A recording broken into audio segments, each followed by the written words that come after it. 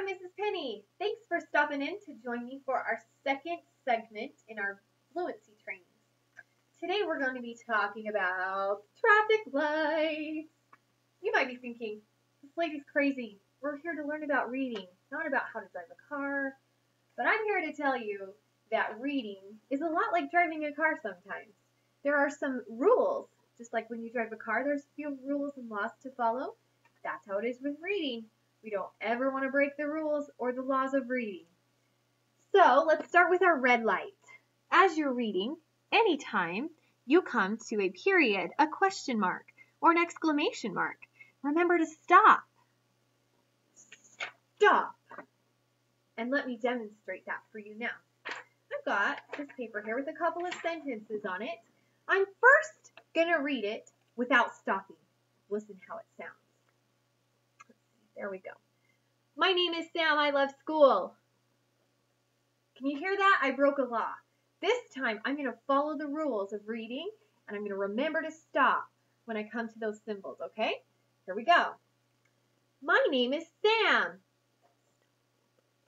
I love school. Do you hear the difference? One more time. Let me break the law again. My name is Sam. I love school.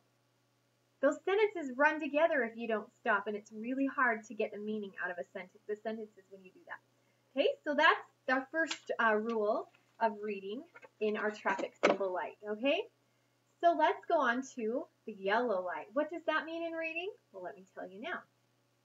When you're reading, if you come to a comma, a colon, or a semicolon, it means to pause. And let me demonstrate that for you now.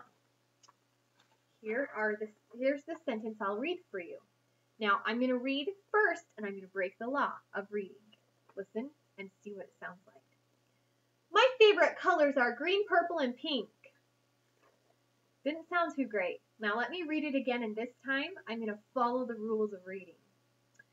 My favorite colors are green, purple, and pink.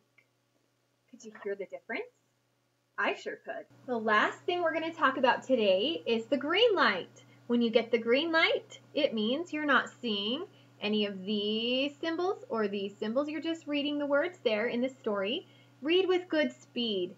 Please be sure not to read too fast or to read too slow. We want you to be reading at a good steady pace. So I'm going to demonstrate a good pace, but before I do that, I want you to hear what it sounds like when someone reads too fast and when they read too slow. Let's start with too fast. Okay, I'm going to read those same sentences I was reading to you before. My name is Sam. I love school. My favorite colors are green, purple, and pink. Can you hear that that is so fast? It's even hard to even understand what I'm saying when I read that fast. This time, I'm going to read it really slow. My name is Sam. I love school. My favorite colors are green, purple, and pink. Okay, I hope you're still with me. That was really slow. Now, would you like to hear a good, even, steady pace? Yeah, you would. I know you would. So, let's hear it. My name is Sam. I love school. My favorite colors are green, purple, and pink. I hope you can hear a difference. So, let's just summarize what we've talked about today, and then we'll end with a fun story we've talked about when you're reading to obey the laws of reading. Obey those symbols you come in contact with. Whenever you see a period, a question mark, an exclamation mark, stop! Whenever you see the comma, a semicolon, or a colon, pause! And when you're just seeing the words on the page, read with good speed and good expression. So to end our segment today, I have a really fun story to illustrate the stops, the pauses, and the expression as you read. It's called Yo. Yes?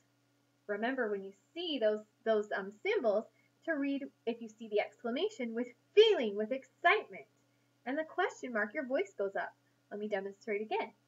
Yo! Yes? Now let's read. Fun story.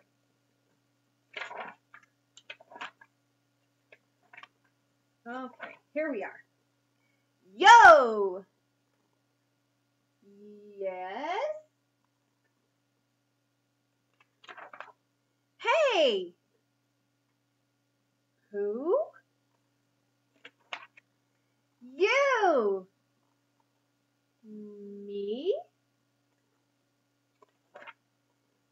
Yes, you. Oh. What's up? Not much. Why? No fun. Oh? No friends. Oh, yes. Look! Hmm? Me! You? Yes, me. You! Well? Well? Yes! Yo! Yes! Yo! As you can see, these two young children became great friends. That's three once again. Yo! Yes. Great one. If you can check this out at your local library, practice reading and practice follow, following those traffic symbols. Thanks for joining me. Have a great day and happy reading.